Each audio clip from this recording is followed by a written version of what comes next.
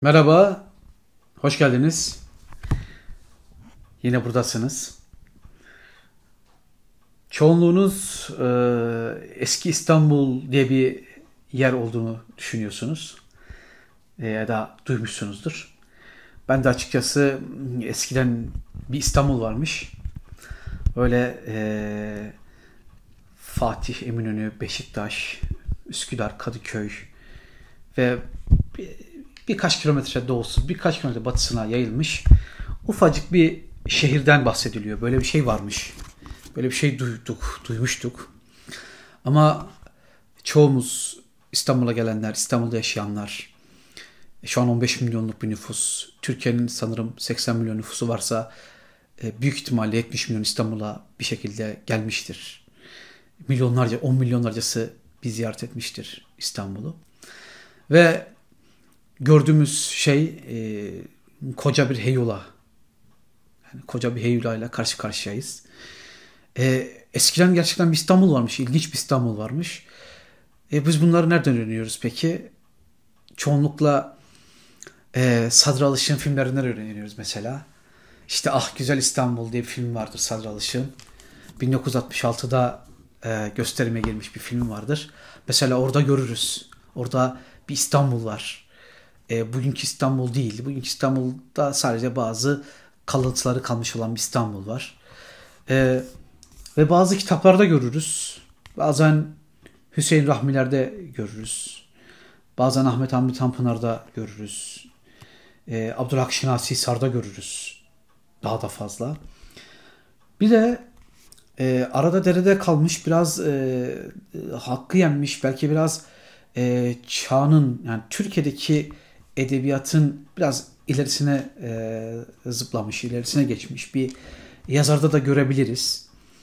E, bunu bir borç olarak görüyorum. E, dünyanın en iyi yazarından bahsetmeyeceğim.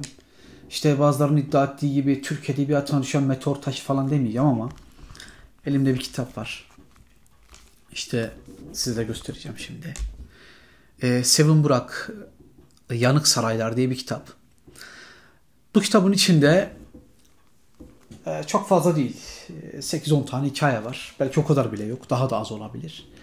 E, daha çok Yanık Saraylar hikayesi ve Sedef Kalkmalı Ev hikayesi ünlü. Ben açıkçası iki hikayeden çok hoşlanmadım. Ama e, dikkatimi çeken iki hikaye var. Biri pencere hikayesi. E, gerçekten dikkat çekiciydi. Ama özellikle İstanbul diye girdim ya mevzuya. Onun, onun için e, o konu için ana, e, söyleyeceğim hikaye e, Ah Ya Rab Yahova adlı bir hikaye. E, 1930'ların İstanbul'unu anlatıyor hikayede.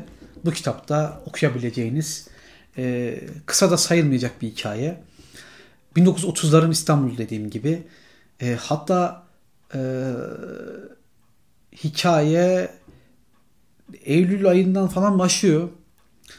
1 ee, Temmuz ayında evet bir yıl sonraki Temmuz ayında yaklaşık bir 8-10 aylık bir dönemi kapsayan bir hikaye. Ee, kahramanımız İstanbul'u geziyor. İstanbul'u geziyor ama İstanbul kadar küçük bir İstanbul ki. Yani avucunun içine alabiliyor. Ve kafasını dinlemek için İstanbul'da. Ee, onu söyleyeceğim. Kuzguncuk diye bir köyde yaşıyor. Bugün Kuzguncuk İstanbul'un ortasında kaldı. Ee, bilenler biliyor zaten. Ee, Üsküdar'ın bir mahallesi Kuzguncuk. Semtte diyebiliriz bilemiyorum. Ee, 3 kilometre civarında biraz daha e, kuzeyinde kalıyor Üsküdar merkezin. Ve Kuzguncuk köyünden kalkıp yani kafasını dinlemek için yaşadığı işte köy hayatını yaşamak istediği Kuzguncuk köyünden kalkıp işte karşıya gidip vapura binip tünel alıp öyle söylüyor yazarımız tünel almak. Yani tünelden e, tramvaya binmek, tünel almak gibi bir e, ifadeyle karşılanıyor. Bir e, İstanbul'dan bahsediyor. E, görsel olarak 30'ların İstanbul'u, işitsel olarak İstanbul'un İstanbul, e, 30'ların İstanbul'u. Ama e, bir de yazarımız da o dönemlerin insanı. E, üst üste gerçekçilik, üst üste gerçekler İstanbul'la ilgili. Kelimeler, mekanlar, zaman, vapur, tünel, e, dönemin lokantaları, dönemin otelleri, lobileri, e, okulları, komşuları e, ya inanılmaz bir tad veriyor bu anlamda. E, ve gerçekten e, tamamlanmamış gibi duran bir hikaye. E, birçok yer anlatılmayan bir hikaye. İşte Ah Ya Rab Yehova. E, kitaptaki birçok hikaye aslında buna benziyor. Bir tamamlanma problemi yok. Bir yerden başlıyor anlatmaya, bir yerde bitiriyor ama o bitirdiği yer tam olarak e, bitmesi gereken yer mi? Veya yazarın bir iş illa bir şey bitirmek gibi derdi var mı? Onu bilemiyorsunuz. O kadarını anlamıyorsunuz. E, Sevin Burak ilginç bir karaktermiş zaten. İlginç bir insan. Mankenlik yapmış. E, o dönemlerin e, İstanbul'da, Türkiye'sinde iki kere evlenip boşanmış. E, kimlik olarak e, zor bir kimliğe sahip. E, Yahudi kökenli bir aileye mensup. Bunu biliyoruz.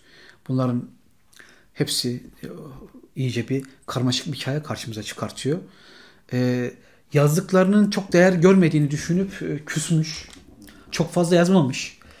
Küs, küstüğü için mi yazmadı, yazmak istemediği için mi yazmadı, yazamadığı için mi yazmadı onu bilmiyorum. Bunların hepsi olabilir. Belki de hepsi doğrudur. E, ancak şöyle söyleyelim. E, Tomris Uyar yokken Sevin Burak vardı. Tezer Özlü yokken Sevin Burak vardı.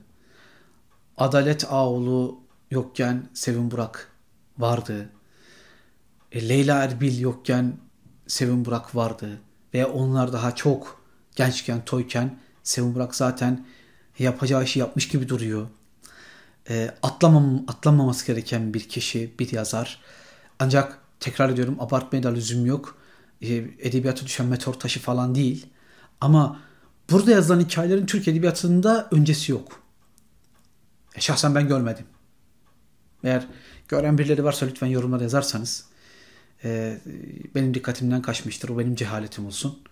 E, özür dilemesini bilirim. Bir de özür videosu çekerim. Öncesi varmış benim haberim yokmuş diye. O videoyu da çekerim. Ama öncesinin olmay- olmayışı çok enteresan. Çok e, dikkat çekici. İlerleyen zamanlarda e, anlatmak istediğim ünlü İspanyol filozof e, Jose Ortega Gasset'in bir sözü var. E, dahiler e, evrenin evreni bir daha kurarlar.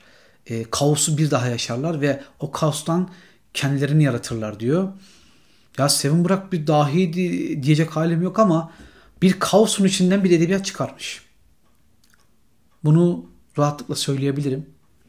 Küçük bir şey çıkmış, az bir şey çıkmış, çok bir şey çıkmış ama bir şey çıkmış. Ee, öneririm. Ee, edebiyat severler. Ee, ne der ne diyelim böyle iğneyle e, kuyu kazmaya çalışan kişiler ki böyle e, tırnak için rahatsız insanlar var. E, böyle bir yazarı atlamayın. E, Türk Edebiyatı'nda çok fazla adı sanı duyulmaz. E, hak etmediği halde çok fazla yeri e, adı sanı sesi duyulan yazarlar var. İlerleyen zamanlarda bunlarla ilgili konuşmayı düşünüyorum açıkçası. Bu kitap bence e, bir meteor taşı değilse bile epey ayağımıza batan bir taş e, gibi biz biraz rahatsız edebilir. E, rahatsız edilmekten rahatsız değilseniz e, Sevin Burak'a bir bakabilirsiniz. Diğer kitaplar da var ama ben önce bunu önermek istiyorum. E, teşekkür ediyorum. Desteklerinizi bekliyorum. Görüşürüz.